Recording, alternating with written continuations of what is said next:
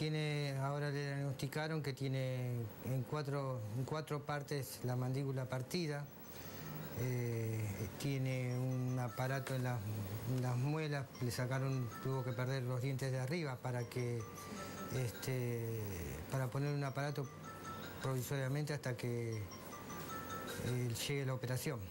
Lo, lo tienen, necesariamente lo tienen que operar. Eh, ¿Y esto cuándo, cuándo sería, Sergio? Todavía no se sabe. Eh, ahora le, diagnostica- le hicieron este, una tomografía este, y, y bueno, este, mañana tiene que ir de vuelta al hospital a la mañana temprano.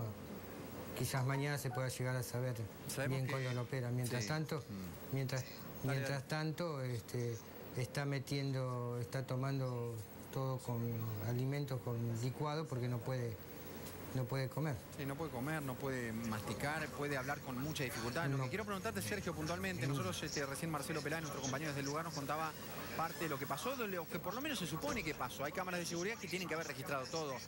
Lo que quiero saber es si vos pudiste reconstruir efectivamente qué pasó, hubo una discusión, eh, el, el Patovica solo decidió trompearlo, hubo un cruce de palabras. ¿Qué pasó esa ¿A noche? la mesa? Bueno, te, te explico. Mm. Eh, A la- cosa fue así, él fue, se vuelve del baño, Sí. este, se vuelve, sale del baño, se junta con los, con los amigos, que eran cuatro, que estaban divirtiéndose, porque hacía varios tiempos que no iba. Sí.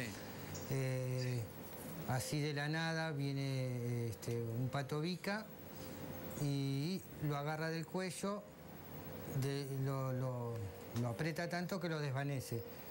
Le pega una piña y lo sacan afuera. Adelante de sus amigos pasa Cuando esto. lo sacan, adelante de los amigos. Los amigos pensaron, dice, bueno, ya va a volver. Viendo que no, va, que no, no volvía, salen a buscarlo y lo encuentran tirado justo en la puerta del león, más o menos en la imagen les da. Ahí en el león, tirado boca abajo. Eh, le preguntan a los policías, y los, porque había dos policías este, afuera, Sí. Y les dice que, eh, que lo tiraron ellos. Y que, este, bueno, A eh, ellos primero se lo hacen cargo llevaron los la- policías. De- a- a- asumen que, que eran ellos los que lo habían tirado ahí. la policía era parte. Después eh, la policía lo ayudó y lo llevó a Lupa, a Lupa de Loncham. El Lupa de Loncham no podía hacer cargo y de ahí se tomó un remis conjunto con los amigos y fue a, a Lucio Menéndez, donde cual ahí estuvo dos días en una camilla Sí. porque tenía que hacer, un- no había lugar, como todo hospital.